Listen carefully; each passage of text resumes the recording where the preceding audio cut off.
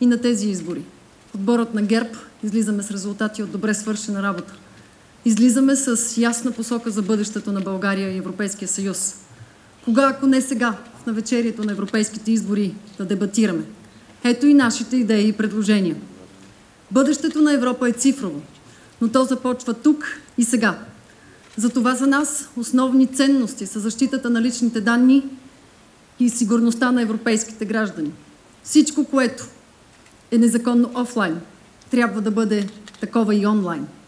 Европейският подход, който ние ще устояваме, има в своя център човекът.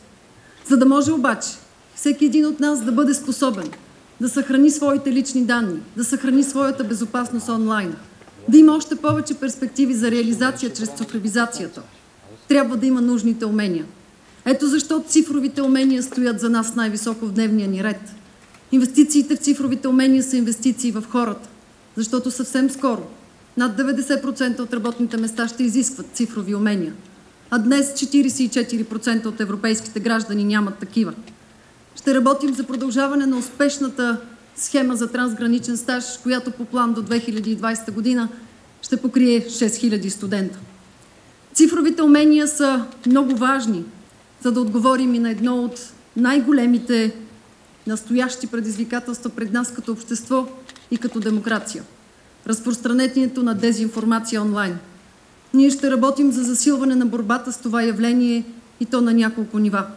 По-голяма отговорност за платформите, премахване на фалшиви акаунти и прозрачност по отношение на ботовете, включване на медийната грамотност в училищните програми, както и обучения за безопасност онлайн. Ще подкрепим създаването на Европейска платформа за борба с дезинформацията. Цифровите умения ни водят до следващото важно условие за успешна цифрова трансформация – цифровата инфраструктура.